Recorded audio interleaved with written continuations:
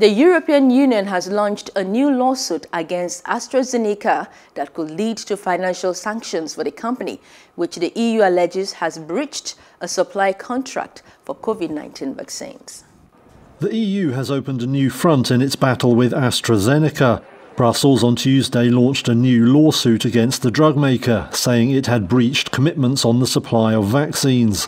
That follows another case launched in late April. AstraZeneca has said the first case is without merit, saying it complied with all contractual requirements. It said the second case was unnecessary, given that one was already underway. On Tuesday, the EU's lawyer asked that AstraZeneca deliver 120 million shots by the end of June. A lawyer for the Anglo Swedish firm said it was aiming for 100 million by that date.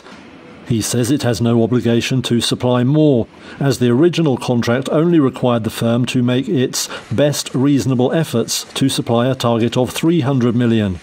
AstraZeneca has blamed production problems and export restrictions for the delay in shipments. Hello, hope you enjoyed the news. Please do subscribe to our YouTube channel and don't forget to hit the notification button so you get notified about fresh news updates.